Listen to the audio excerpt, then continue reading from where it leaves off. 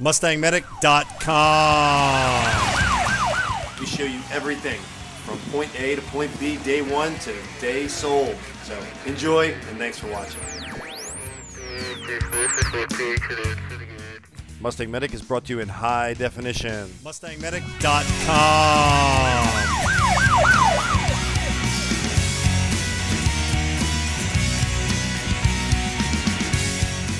1969 Mustang Coupe F Code Project. Okay, I'm under the 69 and we are now dropping the springs. So here we go. So after you've taken off the shackles, um, or the U-clamps, I'm going to call them U-clamps at the moment in this video. Once you've taken those off, you cleared the plate and you've got the shock absorber um, off. Then all you have is the front end, which we will see what we've got up there. Hopefully it's not rusted. Uh, we will see. Kind of dark down there. Sorry guys, is that better? There you go. So you got that, that bolt up there, which we all know about from the 66. Oh, what fun. We'll find out if we're going to have the same amount of fun on this one. And then you go and take this bolt off of this clasp. And this actually, this shackle looks pretty good. I was going to get new shackles for um, Joe's uh, 69, but it looks pretty good. So we're going to see if we got good rubber.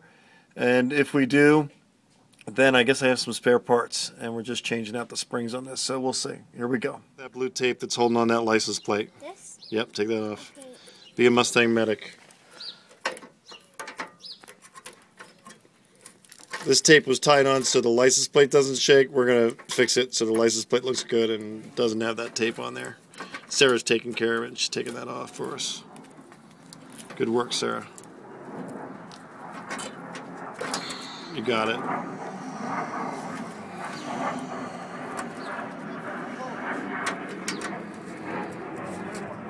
Nice job, Sarah. Mustang Medic. Very nice. All right, so this this one over in this area is a bit challenging because it's uh, between the exhaust pipe and the leaf spring, so it's really tight. Sorry for the tight video here. Mm-hmm. Let me see if I got it here. There you go. So I've got my uh, ratchet wrench in there, and I'm getting the other bolt off of the other shackle so we can remove it and drop the springs. Taking off the shackle plate.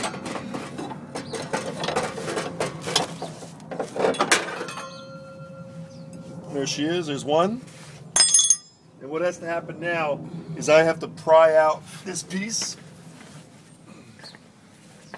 So what you're going to see, if all goes well, is the leaf spring coming down here. This is actually the simple, relatively simple part of leaf spring removal. Oh boy.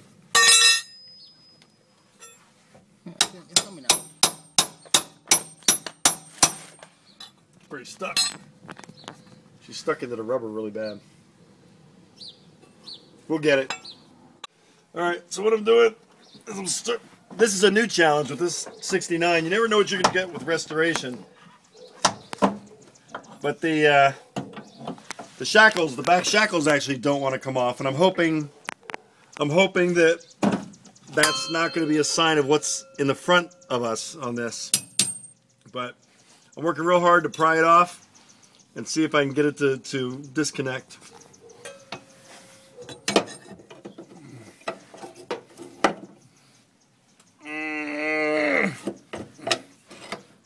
Man, oh man.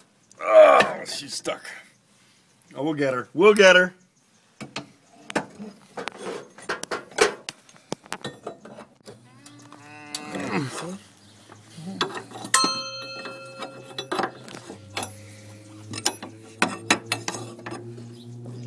What are you shooting crows?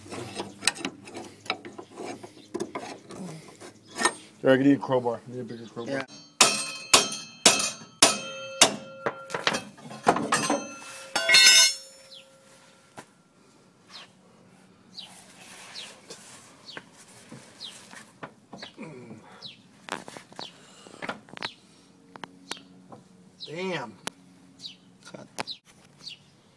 All right, so we got the, the back one out that's attached to the, the subframe or the frame, but it's stuck on the top and we got to clear it. So we've got to separate this sh bottom shackle from here. And it is just a bugger. It does not want to let go, but we're going to get it. We actually didn't change out the leaf springs on the 69 we worked on.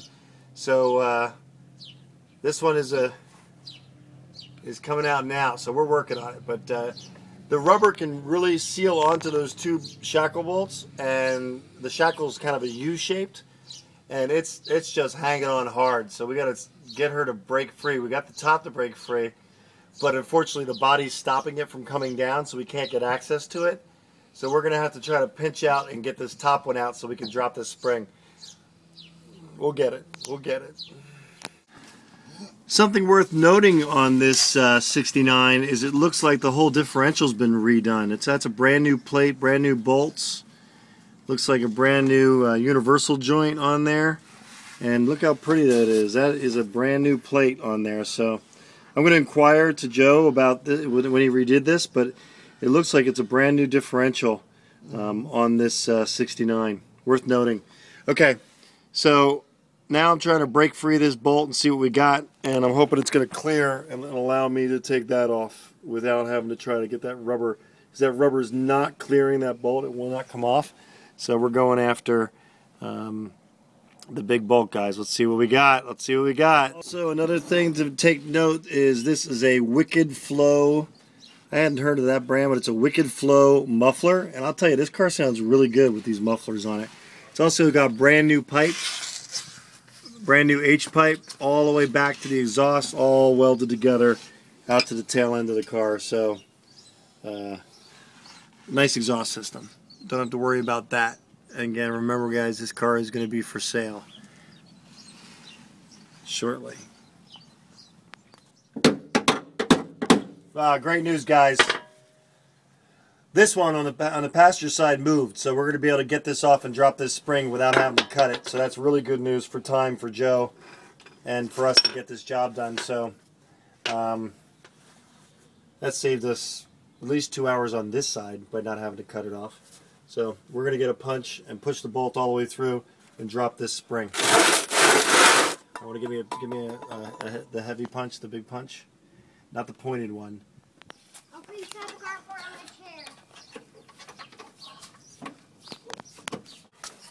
And this is because, probably because it's a San Jose car, is why we're able to get it. It's not a Detroit, it's not a Detroit, Michigan Mustang.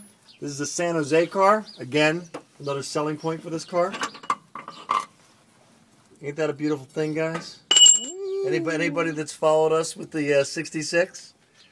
So here we go. It's about to drop out. I hope. We will see. I actually ordered these for this job, but now don't need them. So I got some spare parts for the next leaf spring job we do. So here we go. You ready? Yeah.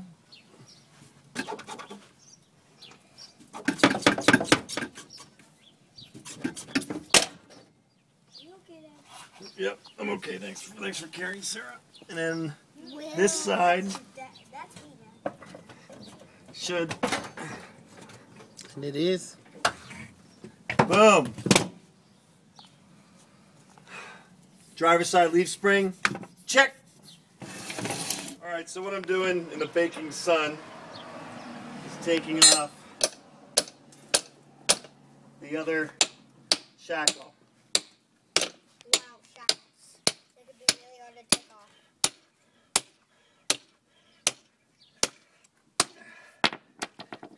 Watch out, sir. Get back. This rubber, man, I'll tell you, it's hanging on. We got to see if it comes off in one piece.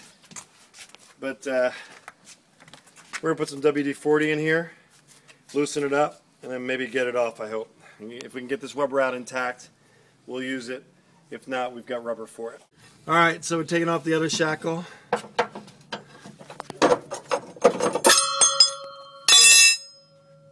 passenger side. that crowbar.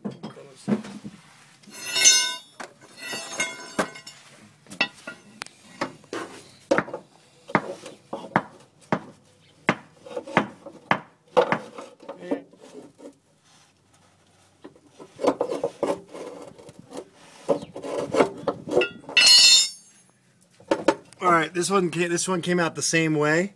So now we're going to move down to the bottom, the front bolt, and see if that comes out like the like the passenger side did. Loosening up the bolt. So far, everything feels pretty good. These, look at this, guys. See this? See this? Just hanging. These needed to get replaced. Oftentimes, it's you know it's a pretty big job changing leaf springs, and uh, oftentimes it gets overlooked. But Joe's doing this right. He's changing out the radiator so she runs cool. He's having us do the um, the leaf springs. He also wants us to do a sway bar on the front. Going to do the whole electric fan with the uh, relay. So it's going to be a sweet ride when he puts her up for sale. And that's what we're prepping for, for sale on this 69. And again, no rust. 1969 Mustang. Just like the 69 we had as our restoration project. Now we got the 71. You guys are all aware of that. All right, here we go. I'm gonna start popping this bolt out now. See we got it. All right, gonna start hitting the side of this bolt. We'll know what we got. She's moving, guys. She's moving. Both of these were not encased in rust and frozen. What I'm doing right now is I'm taking a punch and I'm carefully tapping that bolt through so I can get my hands on it on the other side. I still got to tap it more and then get it out and drop it. Looks like the kids are going to go to the park today on a Sunday. I'm not a workaholic, am I, Carlos? Mm-hmm. No? You don't think so? You just say that. You're just being nice to me, Carlos, all the time. It's brother brother-in-law's job, I guess.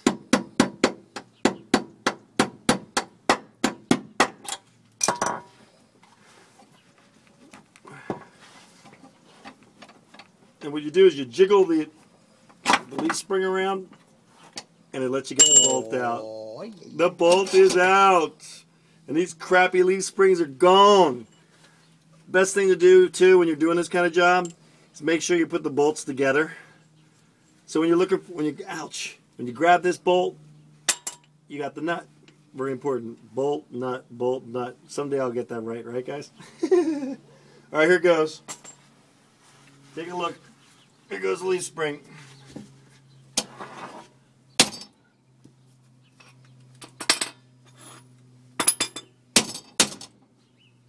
She's dropping.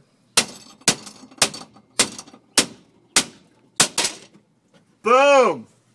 Mm-hmm. I saw this ad for Sears, and the guy goes, "Boom! What, what's that? That's knowledge dropping on you." I thought it was hilarious. I told my wife I got to use that in videos. I think he said it better than me, but it was funny.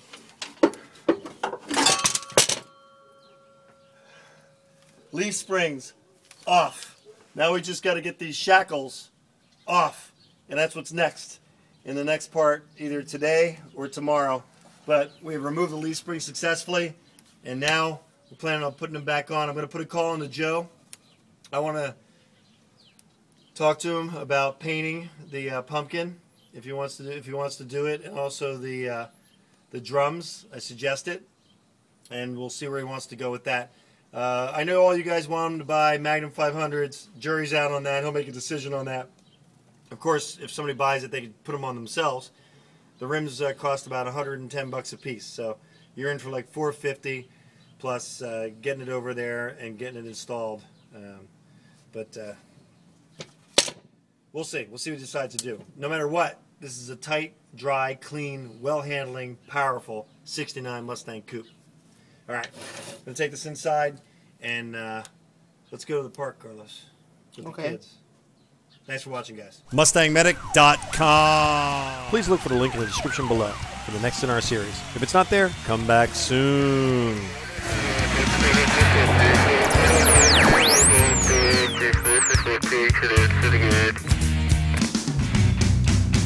MustangMedic.com.